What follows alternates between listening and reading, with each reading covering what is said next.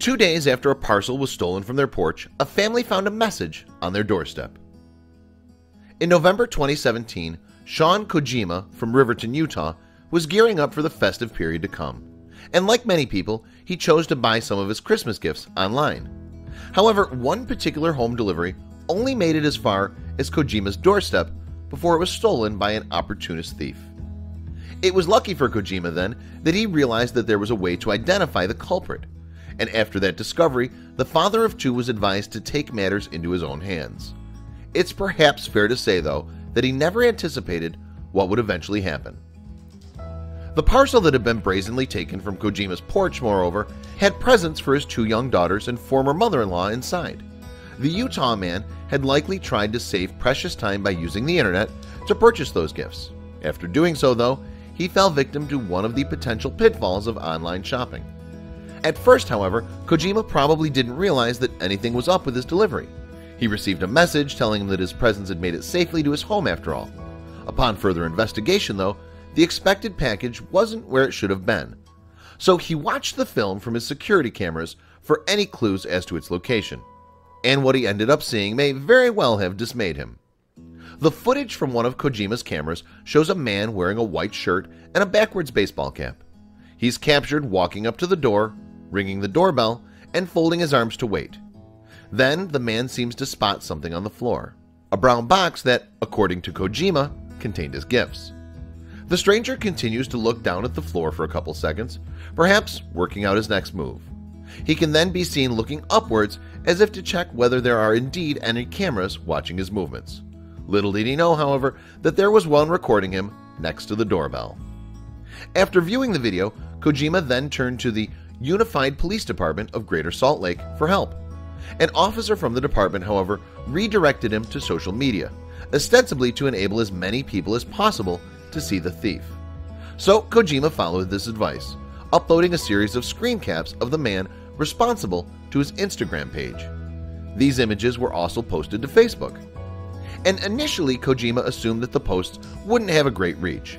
Speaking to website Babble, he even admitted, I was honestly thinking that only a few of my friends would repost the pics I posted on social media. But as it happened, he continued, they caught on like wildfire. Indeed, on Facebook, the snaps of the man in the white shirt and cap were shared 440 times. One commenter even came up with a rather creative suggestion to prank any future thieves, writing, I want to sell exploding poop packages just to leave on your doorstep. When opened, they fill the room with poop, pepper spray, and green dye. Meanwhile, other Facebook users speculated that the man concerned had problems with drug addiction or had done a stint behind bars. Yet more people commented on the photos with specific information about an individual they assumed to be the robber. The huge number of shares and messages weren't the most surprising part of this whole tale, though. That came two days on from the original incident, when a package arrived at Kojima's door. The very same box that had been stolen. And that wasn't all. A bonus gift of a little soft toy was given to the dad, too, along with a handwritten note. The letter was written in red ink and spoke of the thief's regret. In it, he claimed that he only approached the house in the first place in order to ask if Kojima's vinyl fence was for sale. He also referred to his impulse to take the package as a scumbag move and vowed that it will never happen again. The writer then ended his message on a contrite note, saying, Once again, I'm truly sorry for my inconvenience and selfish ways. If you ever need anything, I'll be at your service. It seemed that despite his original callous behavior, the thief was at least attempting to make amends for his actions. And one member of Kojima's household was particularly happy that the robber had finally seen the error of his ways. As the dad told Babble, his four-year-old daughter Cece just kept cheering that we won.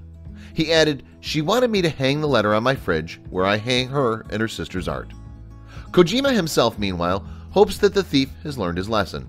And while the Utah native conceded that he didn't know the man's story or his situation well enough to properly judge him, he nevertheless holds strong to his belief that you should never steal from someone else, regardless of your circumstances. That's a credo that the police hold by too, so it's perhaps no surprise that local law enforcement decided to track the individual concerned down and apprehend him. Kojima would reveal the news on Facebook, and he would return to the social media site five days after his original post to comment further on his experience. In particular, Kojima marveled at the fact that the story had gone viral and that the video has been on news stations across the US.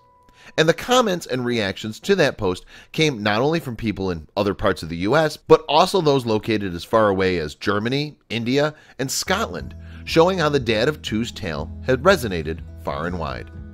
It's unknown, though, why the repentant thief chose to give the presents back. Perhaps it was simply out of remorse. Maybe, however, he felt that he'd been backed into a corner after Kojima's social media posts identified him. As for the gift of the toy, well, Kojima suspected that the individual responsible may have peeked inside the package. That way, he would have seen that items for children were contained within. Hopefully, in any case, the man has set a precedent for anyone else thinking of a copycat crime and inspired them to think twice before committing such an offense. And according to Unified Police Department Detective Ken Hansen, the very least thieves can do to try to make up for their mistakes is to follow the letter writer's lead and apologize. Such unscrupulous individuals should also give back any packages they've previously pilfered, Hansen told Salt Lake City Station, KSL.